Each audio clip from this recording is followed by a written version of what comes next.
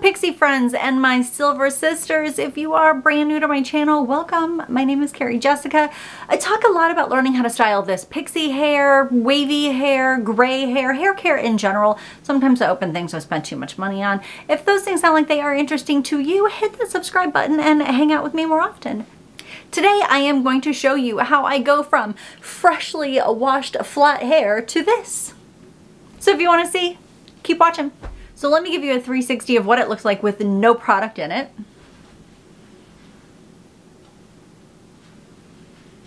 I don't dislike my hair in this natural state at all whatsoever, but I am going for more of a pompadour faux hawk type style. I like for my hair to be larger than life and I've finally found a method of like how I'm styling it and products that I'm using that are giving me that big volume consistently so I am ready to share with you what I've been doing. I'm so excited. My fingers are crossed because it would only figure that the time that I choose to record it, it would not work out. We're not going to go there. We're not going to be negative. This is going to be great. It's going to go great. So the first thing I'm going to do is get my hair a little bit more than damp, pretty wet. I like to style my hair wet forward. That way when I add a heat protectant in, it is really absorbing and locking in some moisture before I add some heat to it.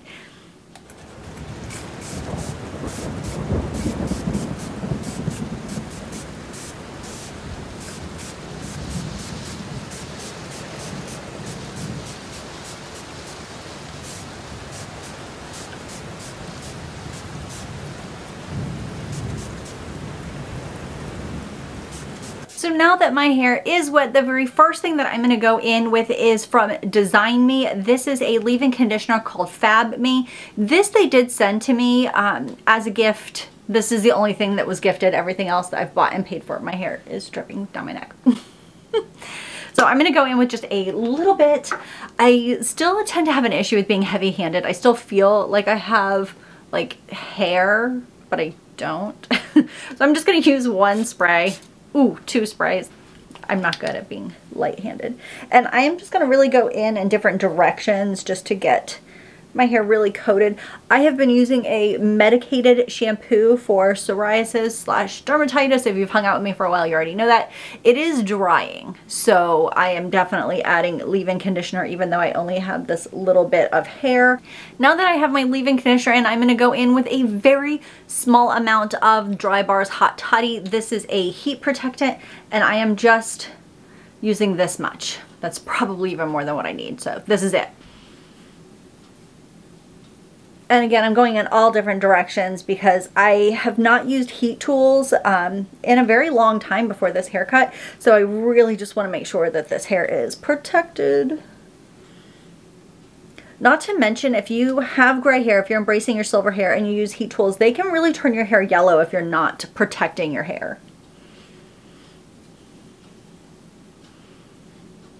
Now that I have my heat protectant in, I'm going to go in with a little bit of Dry Me. I meant to use one spray. I used two. That's just how I am. But anyway, this seals the cuticle of the hair so it keeps the hydration and the good stuff in but allows it to dry faster. This also does um, this also does have some heat protectant in because it is sealing that cuticle.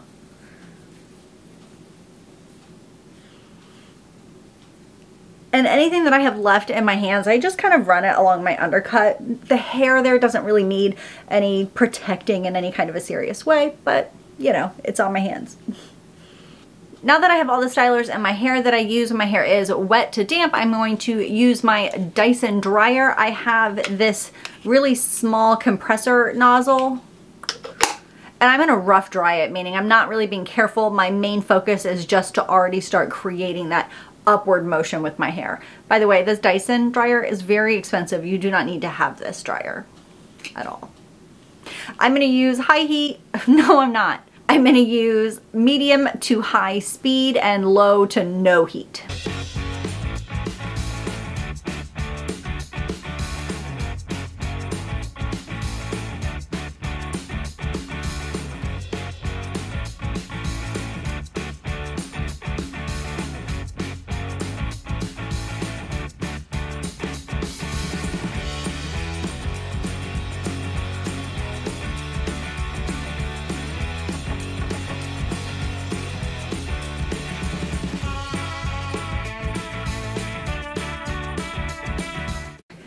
So my hair is all the way dry and as you can see we have already started to create this upward motion. However, there's no hold to it. If I just left it like this, it would split down my natural part in a matter of an hour.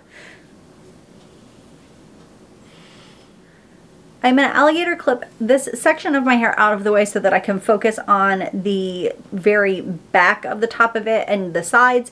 When I use my curling iron, I'm going up and slightly forward with it. And on these sides, we're going up and slightly in. That will help create the support of what I'm going for. The straightener that I'm using is from Drybar and I personally set it at 280. That is a nice setting for me to where it is hot enough to where it does what I need it to do, but it's not so hot that the heat protectant doesn't protect my hair from it.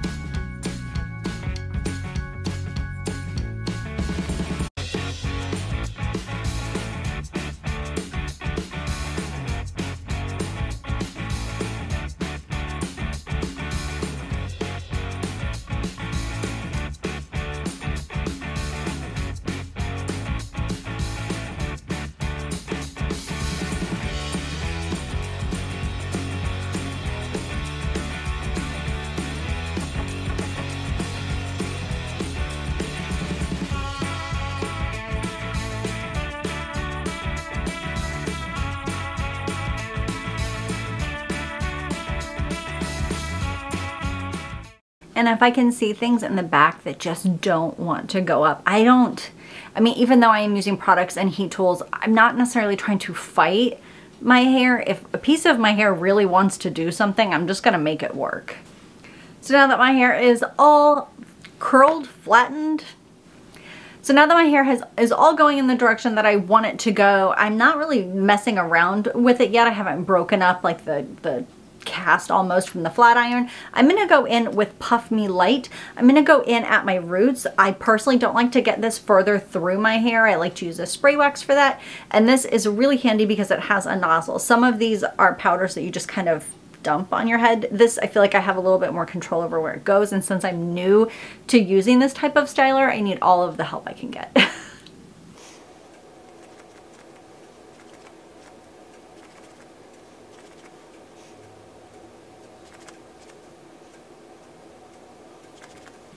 So now I have that Puff Me Light in. I'm just going to go in with my fingers and kind of uh, rub it in, for lack of a better word. This stuff is so good at giving volume.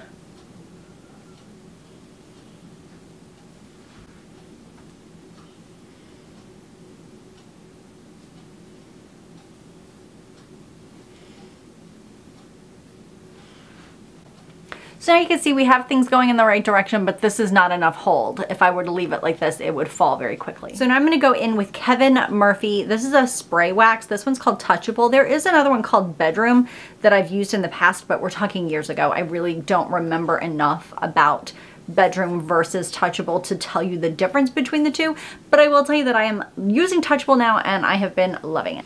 So this is a really fine mist of a spray wax. It leaves your hair sticky at first, but it is touchable in the sense that it's flexible. You can kind of control it after it's in your hair, unlike a hairspray that kind of freezes it. And the stuff smells so good.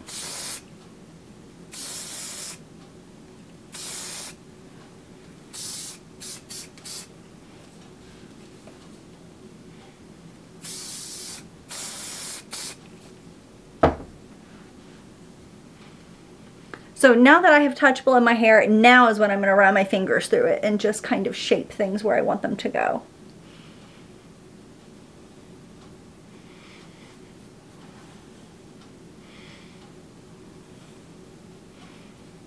And because I did have that piece of hair that really was intended to go up, it didn't want to, I'm just going to use this brush and I have um, some of the touchable waxes on my hand still from running my fingers through it. So I'm just going to run my hand down it.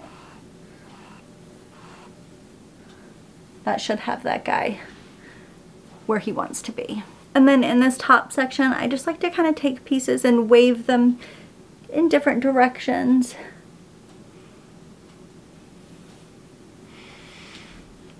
All right, guys, that is it. 360. Let's check it out.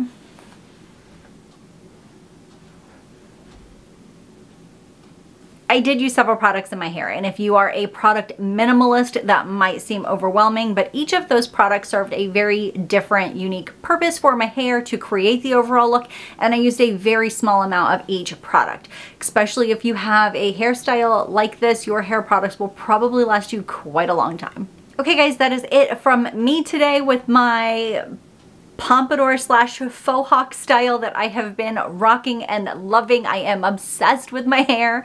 Um, if you want to hang out with me some more, I post videos usually on Tuesdays and Thursdays when life permits. If you want to hang out with me outside of that, you can find me on Instagram. I am super active there. I'm always pinning stuff on Pinterest.